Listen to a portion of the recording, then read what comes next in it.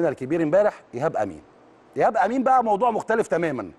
يعني إيه موضوع مختلف؟ إيهاب أمين راجل أساسا موهوب راجل فنان. كل مصر عارفة عنه كده. في في أسرة كرة السلة في مصر يقول لك ده لعيب فنان لعيب موهوب. لما هو بيستعمل مهاراته حقه. ما دام داخل إطار القانوني في الملعب داخل إطار التاني داخل إطار القانوني داخل أرض الملعب بنقول له شكرا. مفيش مشكلة خالص. إن هو يستعمل مهاراته إن عمل كورة لمسة جميلة لمسة فنية زي ما بيقول عملها بيمتع جمهوره بيمتع نفسه. لكن خلينا أقول لكم حاجة مهمة جدا اللي الكلام كتير إن الكورة الأخيرة واللي حصل الكورة دي ما بتحصلش النهارده. الكورة دي بتحصل في دوريات العالم. ليه؟ لأن كرة السلة بتمتاز بالفن. بالفن في, في الأداء بالفن في اللعب.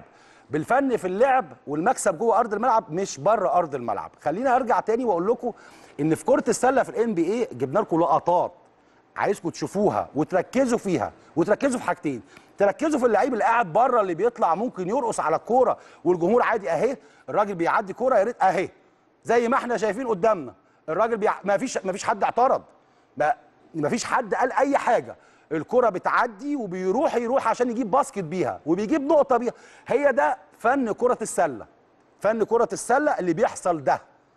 زي ما إحنا شايفين قدامنا هو الراجل بيعدي ونفس الكلام بي دي مفيش. محدش متضايق ليه؟ لأن هم عارفين إن الرياضة دي أهي وبيروح يجيب بيها basket عادي جدا. اللي عايز اقوله في النقطة دي مهمة جدا دي فن كرة السلة مش اللي هو بين رجليه هو دي فن كرة السلة.